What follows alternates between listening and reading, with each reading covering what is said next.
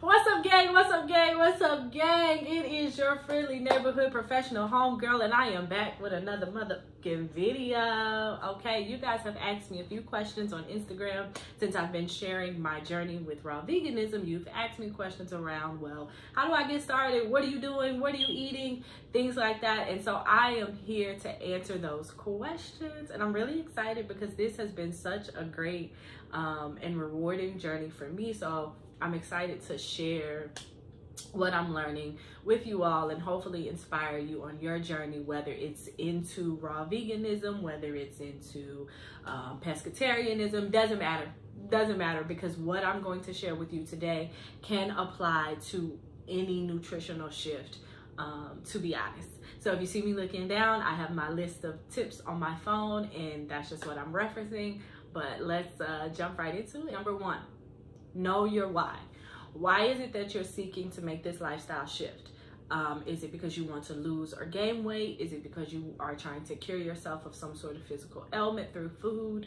What is it? What's your why? And knowing your why is very important because it is going to inform how you approach and thus how you continue through this journey. It is what is going to help keep you motivated. It's what's going to help you keep keep you inspired um, and it's what is going to help you through the hurdles that you're going to encounter on this journey which those are just natural Number two start with your favorites or the meals that you know you eat most commonly. Look up recipes, look up raw alternatives, pescatarian alternatives, like whatever shift you're trying to make. Look up alternatives within that realm of your favorite, most common eaten meals. That's going to make it easier, that's going to make it fun. Um, and again, another thing that keeps you inspired throughout this journey, especially um, at the forefront. Three, don't expect things to taste the same, okay? It's just not gonna work like that. Like the cauliflower wings are not gonna taste like the 10 piece lemon pepper hot. It's just not happening that way. that's that's the whole point. It's not supposed to taste the same. So if you are making such a drastic shift in that way, like going from eating meat to going vegan or eating meat to going raw vegan or even going from vegan to raw vegan, right? You cannot expect those tastes and textures to be the same. And don't try to cook in a way that mirrors that because then you're just still feeding that initial desire. And and the hope is that if you're making this shift you're wanting to shift that so you're wanting to shift away from those desires. Or maybe you just want healthy versions of that, and that's okay too. But still, even still, with wanting healthy versions of what you were eating before, you still cannot expect those new versions to look, feel, and taste the way the old versions do. If that was the case, then you probably not eating a real healthier version. Number four, create a reward system for yourself. Listen, whether it be, you know, if I eat within my realms all week on the weekend. I can go to a restaurant. I can go out to eat once on the weekend. I can try a new restaurant. I can try a restaurant within the nutritional realm that i am you know seeking to operate in. Whether it be I go get my nails done, it doesn't even have to be food related. I go get my nails done, I go get a new outfit, like whatever. Create a reward system for you. As for me in my house, okay, listen, I know I'm, you know, raw vegan, it's, it's given, but I still love a good chip. So on the weekends, I allow myself to have chips. I allow myself to have a bag of chip on the weekends as a reward for all the ways that I have been disciplined and on my P's and Q's all week. So my reward system is a reward not only for how I treat my body with my food, but also how I treat my mind, body, spirit, and goals with my discipline and, and, and um, work ethic throughout the week. So that's important. There's nothing wrong with having a reward system, okay? Um, number five, give yourself grace, right? Lead with grace. This is not making any sort of shift, especially going from like meat eating to raw vegan is not a easy thing. It's not a simple thing.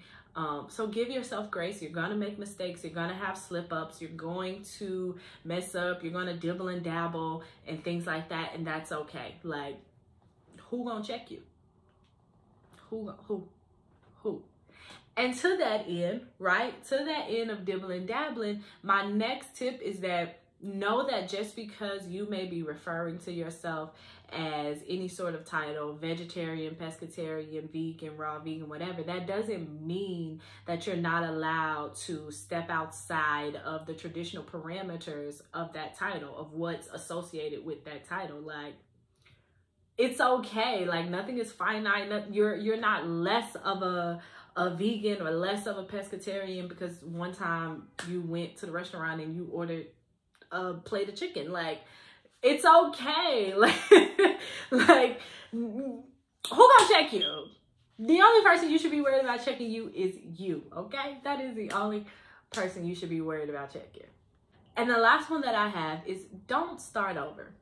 Just keep going if you are starting a new journey or you're in the midst of your journey and let's say you're going raw vegan and you mess around and go to your family house and you have you know chicken rice and peas like okay you had chicken rice and peas for that meal. Did you enjoy it? Was it good? I hope so. Okay so you had chicken rice and peas for dinner that night. So when you wake up the next morning you just keep going. You get back to your bowl of fruit your smoothie you know whatever your plant-based waffles whatever it is that you would normally eat in that next meal. Like just keep going. Don't start over. Because if you are constantly telling yourself i'm starting over i'm starting over i'm starting over you're never really getting anywhere. And remember we're leading with grace because part of the journey is the mess up. Part of the journey is what you learn when you trip and fall when you make a mistake when you slip up. And and and what you learn from that and what you do with that that's the success story the success story is not, oh, I decided to go vegan and then I never touched anything else outside of vegan food again. Like, girl, who? Who? Please. It listen, listen. This is your journey. This is your body.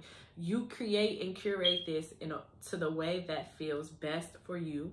You know the difference in you putting forth a gallant effort and just making mistakes as natural and you being lackadaisical about your journey. What you get of the journey will show because if you know that you're being lackadaisical about it, then you won't it won't be a fruitful journey for you. You'll still be in those same places, doing the same things, thinking the same thoughts, having the same attachments, um, having the same dependencies.